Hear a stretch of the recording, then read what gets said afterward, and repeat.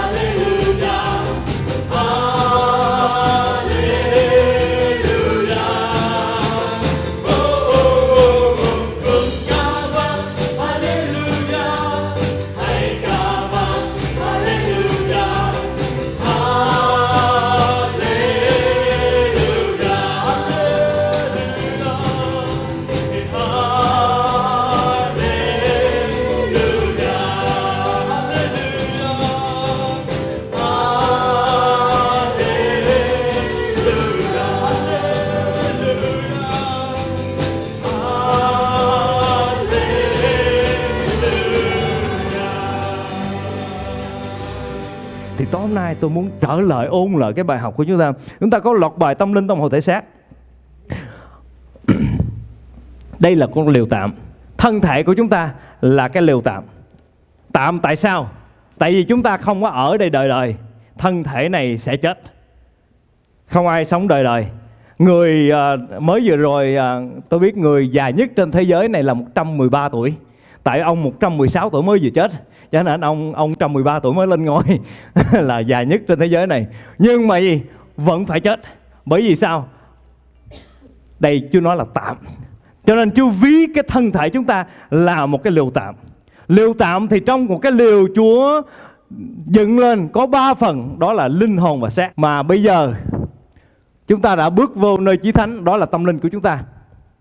Hồi nãy tôi mới nói quý vị tại sao chúng ta phải chiến trận thuộc linh này? Trong linh chúng ta không thấy. Bởi vì chúng ta có bước vô nơi chi thánh chưa? Chúng ta kinh nghiệm trong linh chưa? Kinh nghiệm trong trong linh nó khác với vấn đề coi bối à, đồng bóng hay là lên những cái gì uh, chim tinh gia vậy đó. Khác quý vị. Cái đó là một cái thế giới của ma quỷ. Trên thế giới linh có hai phần một thế giới thuộc của Chúa và một thế giới của ma quỷ. Chúng ta đi vào một trong hai đó. Thì những cái bối khoa, bối toán, chim tinh gia này coi tướng số này nọ, những cái đó là một cái thế giới của ma quỷ. Nó đã khiến nhiều người đã đi vào đó rất nhiều. Nhưng mà trong thế giới linh mà Chúa đặt để trong chúng ta, đó là lời của Chúa. Trong nơi chí thánh thì có một cái hòm giao ước. Thì trong cái hòm giao ước chúng ta bước đến nói nói hòm giao ước là biểu tượng cho tấm lòng của Chúa Đức Chúa Trời.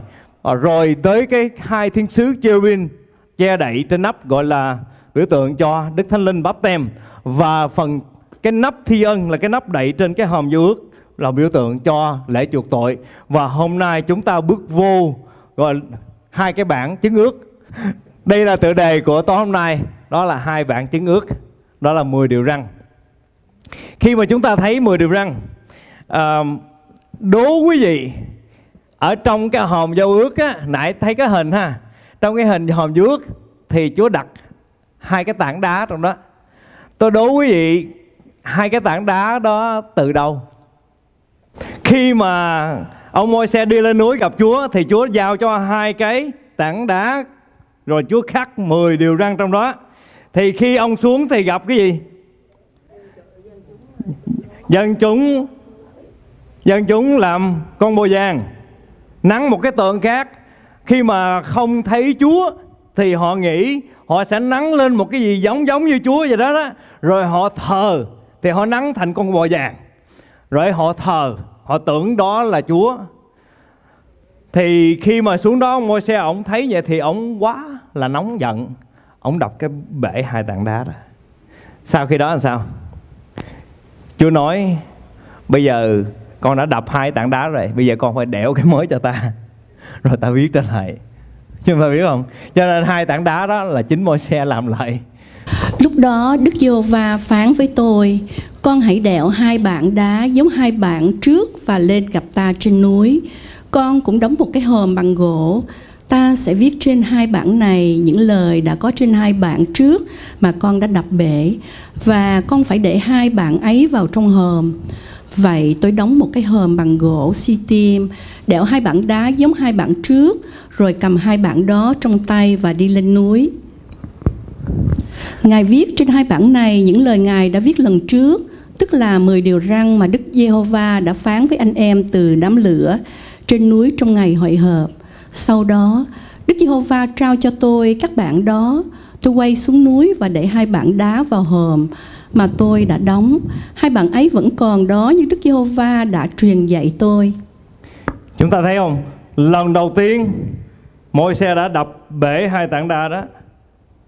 Và sau đó Chúa bắt môi xe phải làm lại cái đó, rồi đặt ở trong hòm giao ước. Đây là một cái hình ảnh chúng ta phải nhìn sâu hơn nữa. Bây giờ thứ nhất, tại sao ông môi xe đập hai tảng đá đó? Bởi vì ông nóng giận tức giận. Tức giận biểu tượng cho gì? Một hình ảnh của một cái hành động tội lỗi. Con người đã một lần phạm tội, đó là Adam và Eva, đã vì một điều gì phạm tội?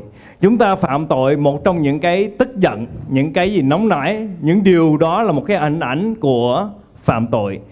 Con người đã từng phạm tội, đập bể hai tảng đá hai tảng đá nói về tâm linh chúng ta. Chúng ta đã từng phá vỡ cái tâm linh này một lần phạm tội. Adam và Eva đã từng phá vỡ tâm linh của họ phản nghịch với Chúa. Chúng ta phản nghịch với Chúa bao nhiêu lần trong cuộc sống? Chúng ta đập bể bao nhiêu lần? Khá nhiều phải không? Yes. bao nhiêu lần chúng ta chối Chúa? Bao nhiêu lần chúng ta chống đối Chúa bao nhiêu lần chúng ta nghịch cùng Chúa? Rất là nhiều lần phải không? Bởi vì cái bản ngã của chúng ta con người chúng ta đã đập bể rất là nhiều lần chứ không phải một lần. Thì sau khi đó thì ai có trách nhiệm làm điều đó chúng ta. Chúng ta phải là người có trách nhiệm. Chúa bảo môi xe sao? Con hãy đẻo lại cái lúc trước ta cho con đó, ta ban cho con đó. bây giờ chúng ta sao chính chúng ta làm phá vỡ cái tâm linh của mình á, thì chính mình phải mở lòng ra. Chứ Chúa không mở lòng cho chúng ta đâu. Đừng chờ Chúa nói, ok giờ Chúa ơi, xin Chúa mở lòng. Con không. Chúa đã từng cho chúng ta cái tâm linh hoàn hảo, perfect, mà chúng ta đã phá vỡ một lần rồi, thì bây giờ chính chúng ta phải tự mình phải mở lòng ra đón tiếp nhận Chúa. Nếu mà chúng ta không mở lòng ra tiếp nhận Chúa thì sẽ không bao giờ nhìn thấy được thấy được ai. Chúa. Một người muốn nhận được sự cứu rỗi thì người đó phải mở lòng ra. Chính người đó phải tự mở lòng ra. Chúa không thay đổi lòng người đó. Cho nên đôi khi có những người mất một thời gian khá dài để tiếp nhận Chúa và được Chúa cứu. Có nhiều người đi nhà thờ gần hai ba chục năm rồi mới tin Chúa quý vị biết không? Đi cũng sáng đi, mỗi chủ nhật cũng đi, mỗi chủ nhật cũng đi, mỗi chủ nhật cũng đi, đi nhóm vậy đó Nhưng mà có một thời điểm nào đó chúng ta mới thật sự đặt cái giao ước đó trở lại trong tâm lòng của Đức Chúa Trời. Chúng ta đã bao nhiêu lần làm điều đó? Bây giờ tự hỏi mình nhiều lần con đã phá vỡ cái điều răn điều lệ của ngài trong hai tảng đá đó, không phải tảng đá nghe quý vị, hai tảng đá đó là 10 điều răn. Điều chứng ước, cái giao ước giữa mình với Đức Chúa Trời mà bao nhiêu lần chúng ta đã có một cái thói quen đi tới lui mà thật sự ở trong đây nó nó tan vỡ trần. Không có gì mà tin Chúa trần. Đụng chút xíu là bỏ Chúa liền tại chỗ. Chút xíu là giận Chúa. Chút xíu là có những điều mà nghịch lại Chúa liền. Nhưng mà phải có một lần nào đó trong cuộc đời chúng ta phải thật sự đặt trở lại thì đó là chính bàn tay của chúng ta mở lòng ra cho Chúa thì Chúa mới viết lại 10 điều răn trên hai tảng đá giao ước. Bây giờ bước đi một bước nữa để chúng ta thấy trên tảng đá này tại sao một tảng đá? Đây là một cái biểu tượng trong cái trái tim của chúng ta, tâm lòng. Ai trong uh, à, biết về trong medical field, tôi không phải trong medical field. Chúng ta nhìn trên đó trái tim có mấy có mấy phần cái gì? Thường bốn phần. Bốn phần phải không chị? Dạ. Nhưng mà hai phần nó giống nhau hả? hay sao? Tôi không rành có ai biết về medical field phần ra vô phải không tim thường thường một có ra vô phải không dạ nghe mới vô mới ra vô mà bị nhãn một phần vô thì nhãn phần ra thì trên 10 điều răn chúng ta nên nhớ 10 điều răn có năm điều đầu tiên là gì giữa mình với Chúa. Chúa năm điều răn kia. Là Chúa với mình. giữa mình với con người. Chúng ta thấy 10 điều răn không? Vô ra ra. Phải không? Nếu mà chúng ta trên trái tim nếu mà chúng ta không có vô được thì chúng ta không có thể ra được. Có nghĩa là năm điều răn đầu mà chúng ta không thể thực hiện được thì năm điều răn kia sẽ không bao giờ.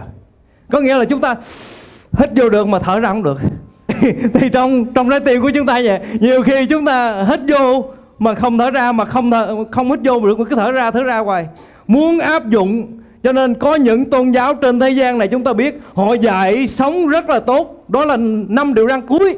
Sống với con người rất là tốt. Nhưng mà năm điều răn kia không có hít vô được không có tiếp thu vô được. Thành ra nói thì nó không có điều hòa được cái không khí của chúng ta không điều hòa được. Cái trái tim của chúng ta, cái cái tâm linh của chúng ta không có điều hòa được.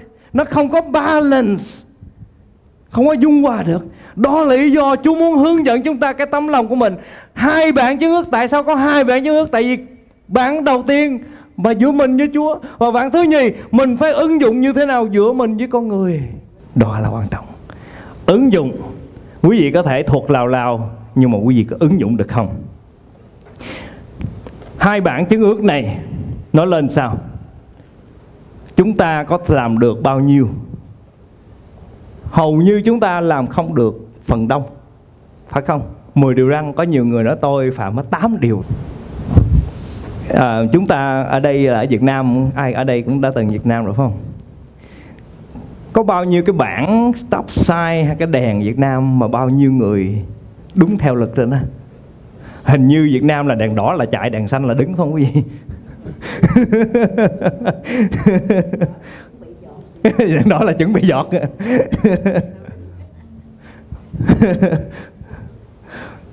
Cho nên chúng ta thấy như thế này 10 điều răng có thể chúng ta đặt nó bên ngoài. 10 điều răng có thể chúng ta đặt ở trong. Ở Việt Nam, họ đặt ở ngoài, thành ra người ta không sợ ở Mỹ này, họ đặt ngay cái túi tiền. Chúng ta sợ. Phải không? Họ đặt ngay cái túi. Chúng ta đặt cái điều răng chỗ nào mà chúng ta nhớ được? Đây là câu hỏi giữa tôi với quý vị. Đôi khi chúng ta đặt điều răng nằm chỗ nào? Bởi vì giống như tôi nói Việt Nam á, họ đặt những cái cái cái sai, những cái dấu này nọ để đầy đường á. Họ nói cấm gì đó, chấm chấm chấm á. mà thấy vẽ số 8 số 8 8 đó. Biết bao nhiêu chỗ mà vẽ, hay là cấm bỏ rác á. Tôi thấy nguyên đống rác là để, nguyên đống vậy đó. Bao nhiêu cái cấm đó mà vẫn đầy dung. Chúng ta cũng vậy mười điều răng thuộc thuộc lao lao nhưng mà chúng ta đang để chỗ nào? Cái sai nó nằm chỗ nào mà nó cũng đầy dung vậy? Đó là câu hỏi giữa tôi với vị. Ai biết được chỗ nào đúng? Ai biết được chỗ nào sai? Chính quý vị biết. Chính quý vị biết. Nhưng mà tôi sẽ nói cho quý vị biết như thế này. Không bởi chúng ta mà có thể làm được điều đó đâu. Bao nhiêu lần chúng ta đã gì không vâng lời phải không?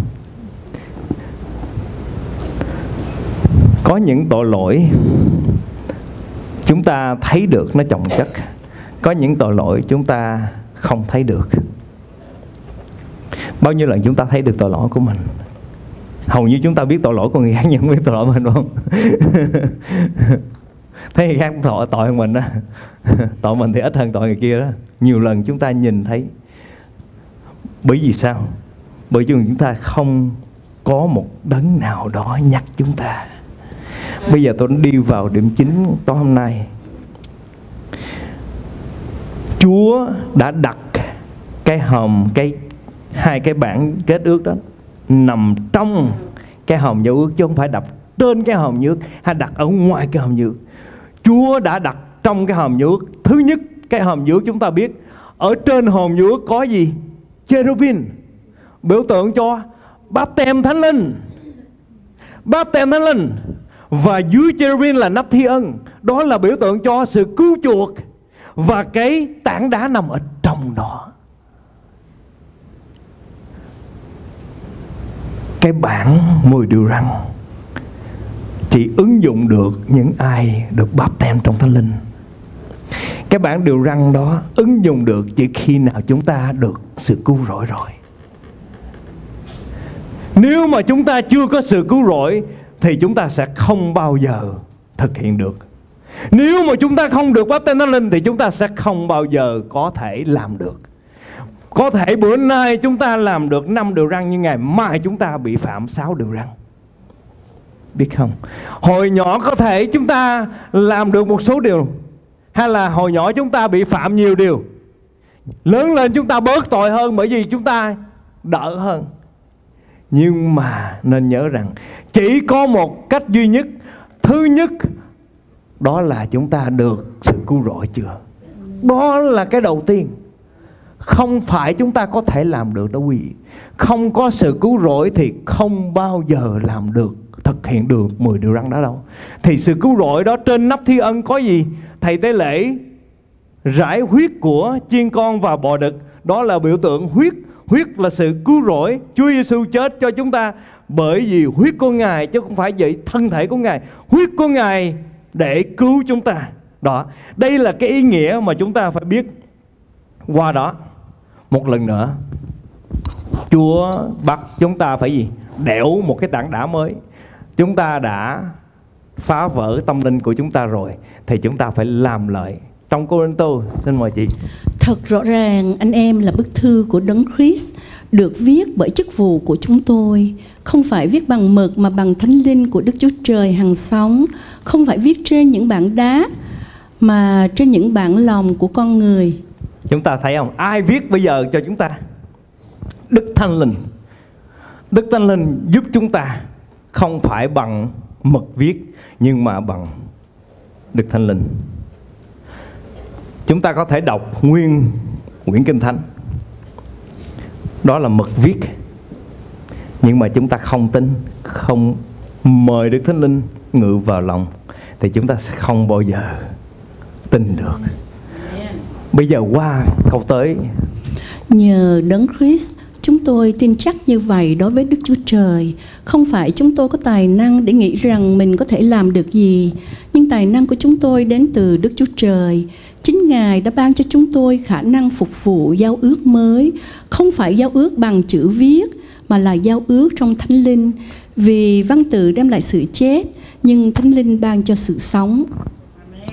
Amen Bởi Đức Chúa Trời là đấng phán rằng ánh sáng phải chiếu ra từ bóng tối đã soi sáng lòng chúng tôi, ban ánh sáng để hiểu biết vinh quang của Đức Chúa Trời trên gương mặt Đức Chúa Giêsu Christ. Nếu mà một căn nhà Quý vị có thể xây một cái lâu đài rất đẹp. Nhưng mà chúng ta chỉ gắn mấy cái đèn Tốt thì tốt Một ngàn watt ở ngoài Dọc dọc dọc dọc dọc dọc dọc ngoài. Nhưng mà ở trong nhà chúng ta không có gắn cái đèn nào trơn á. Nếu mà cái đèn chỉ ở ngoài mà ở trong nhà Mà thí dụ như bây giờ đi Không có đèn ở bên trong Nhà đó gọi là nhà gì quý vị? Nhà chết, nhà quan hay là nhà ma, phải không? Có ai dám bước vô cái nhà mà không mở đèn buổi tối? No. dẫu cái đèn nó có sáng cỡ nào ở bên ngoài. Chúng ta có thể diện mạo một người đạo đức. Chúng ta có thể diện mạo đủ thứ, bận đồ đẹp, giống như tôi tôi nay á. Anh tự khoe tôi có thể trồng mấy cái, cái vô giống như mấy cái rồi đội mấy cái nón lên đó tôi có thể diện mạo đủ thứ hết đó đó là chỉ cái ánh sáng ở ngoài thôi. Nhưng mà ở trong không có ánh sáng gì hết á thì nó là cái nhà ma. Không ai dám vô hết á. Có thể quen shake hand how are you hi how are you? Nhưng mà quen chừng 5 10 phút sau người đó bắt đầu lui. thank you. Come again. Don't come again. Thank you. I don't want to see you again. Tại vì người ta không thấy ánh sáng bên trong. Chúng ta cũng vậy tin Chúa thật hay giả chúng ta sẽ có ánh sáng bên trong. Amen. dẫu ở ngoài không có đèn nhưng mà tôi biết bên trong sáng. Thành ra cuộc đời chúng ta cái ánh sáng á cái bên ngoài nó không quan trọng cái diện mạo không quan trọng nhưng mà từ bên trong nó tự động nó chiếu ra đó là cái bản giao ước mà Chúa muốn đặt để trong chúng ta Amen. Bây giờ câu hỏi cuối cùng trước khi tôi kết luận như thế này. Làm sao chúng ta thấy được ánh sáng thật sự? Xin chị đọc dùm.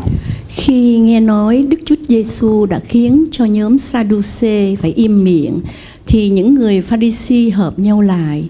Một luật gia trong nhóm họ nêu câu hỏi để thử Ngài. Thưa Thầy, trong luật pháp, điều răn nào quan trọng nhất? Đức Chúa Giêsu đáp, ngươi phải hết lòng, hết linh hồn, hết tâm trí mà kính mến Chúa là Đức Chúa Trời ngươi.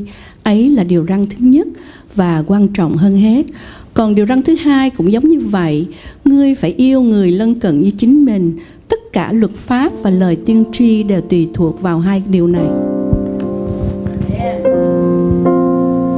Chúa Giêsu đã cho chúng ta một điều rất là đơn giản. Đó là hết hết lòng, hết gì? Hết linh hồn, hết tâm trí mà kính mến Đức Chúa Trời.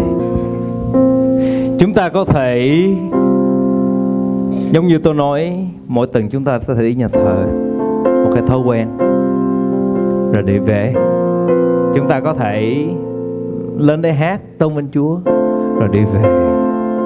Nhưng mà bao nhiêu lần chúng ta đã hết lòng? Chúng ta hầu với Chúa có bao giờ chúng ta hết lòng không? Tôi biết một số chúng ta đang học hát, học đàn á, chúng ta có hết lòng. Nếu mà chúng ta không hết lòng thì chúng ta học bao lâu quý vị học đời đời cũng chưa học được. Ai đã từng học đàn biết liền. Quý vị mà không hết lòng giống như đàn guitar mà tôi tôi hỏi ai mà đàn guitar giỏi tôi sẽ rờ thử mấy cái ngón này nè nó có chai chưa? Nếu mấy cái ngón này nó chưa chai á, quý vị đang dối lòng. Không hết lòng đời đâu. Tay nó chưa chai. Theo Chúa vậy, cái gì cũng vậy mình hết lòng hết nên không? Thì cái đó mới thật sự cái ánh sáng của Chúa chiếu ra. Tôi yêu thương Đức Chúa Trời mà lại ghét anh em mình, thì người ấy là ta yêu thương anh em mình. Yêu bằng cái gì quý vị? Giống như một số người nói, tôi yêu tất cả mọi người. Nhưng mà thật sự, quý vị không làm được đâu. Giống như chúng ta thấy một người ăn xin ngoài đó, bây giờ ăn xin cũng khá nhiều rồi đó, chúng ta có thể đem phát tiền ra. Hay là ai bị điều gì đó, chúng ta giúp họ. Nhưng mà quý vị nên nhớ rằng cái đầu tiên hết á chúng ta phải kính mến hết lòng trên mến Đức Chúa Trời. Hướng dẫn họ để kính mến Đức Chúa Trời trước đi. Rồi cái hành động của chúng ta nó đi theo ngoài đó đó. Amen. thì mới đúng mới đúng theo cách của Chúa. Còn chúng ta nếu mà làm một điều gì mà chúng ta không có hành động với Chúa đó thì chúng ta những cái điều đó nó sẽ vô ích đi. Làm sao làm được quý vị? Đặt hai bản chứng ước vô lòng chúng ta. Hai bản đó là lời hứa của Chúa. Mười điều răn ai thuộc hết mười điều răn. Số ít chúng ta, tôi biết, nếu mà nói phần đông chúng ta không nhớ mười điều răn. Nhưng mà bây giờ chúng ta phải nhớ một điều như thế này, mười điều răn đó chính là cái giao ước giữa chúng ta với Chúa. Khi mà chúng ta nhớ 10 điều răn không phải bởi vì cho Chúa, không phải bởi vì cho người lân cận, nhưng mà bởi vì cho chúng ta nếu mà chúng ta không có 10 điều răn đó, là chúng ta sẽ là như một người chết. Tại vì không có ánh sáng, chứng tỏ là một người đó bắt đầu nó tối. Một cái thân xác mà bắt đầu nó tàn, nó sậm cái da lên, thì lúc đó sao? Lúc đó là sự chết. Nhưng mà chúng ta thấy một người sáng lên. Mấy lần, mấy tuần rồi tôi thấy ở bên châu phi có một người từ chết, họ cầu nguyện sống lại đó. Cái người đó tím ngắt xanh lè đen thui. Châu phi là đen thả sẵn rồi. Xong rồi sao? Cầu nguyện sống nhảy. Chúng ta không có chết đâu quý vị. Chúng ta sống nhảy. Amen. người ta thấy Chúa trong chúng ta đó. Ai nấy thấy Chúa trong chúng ta đó. Bởi vì chúng ta có 10 điều răn của Chúa. Tối hôm nay mỗi người đến